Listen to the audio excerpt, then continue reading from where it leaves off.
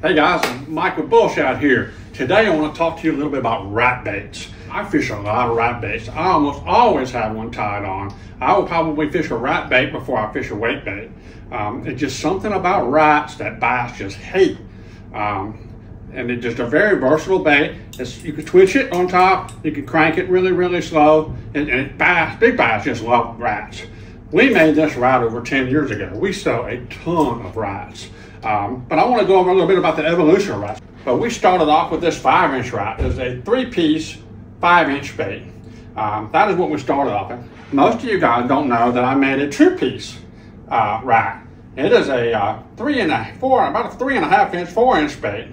Um, and that's one of the things that we only do at the trade shows. Moving into the next evolution of things, we did an HD rat. Super, super detailed.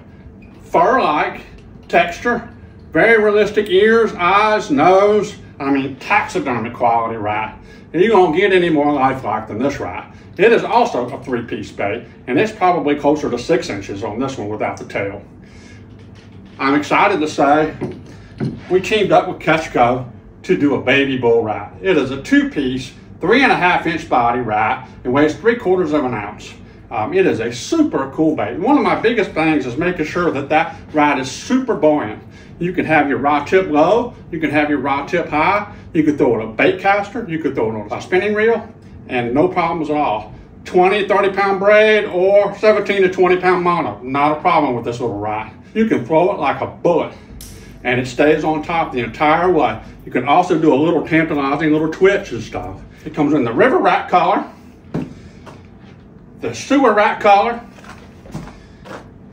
the field mouse collar, and the coal collar rat. 19.99 price point. It comes with a spare tail in the package. You can also buy spare tails at CatchCo.com or Shop Karls, and it's readily available in about two weeks. But I'm really excited about this thing. I want to also thank Jen Kravassi for uh, uh, adding her painting touch to the baits. They turned out super, super realistic. Very cool procedure that she does to get these rats to look really, really lifelike. So shout out to Jen. But I really excited about this. In about two three weeks, they should be available to retailers all over the United States. Go get you one.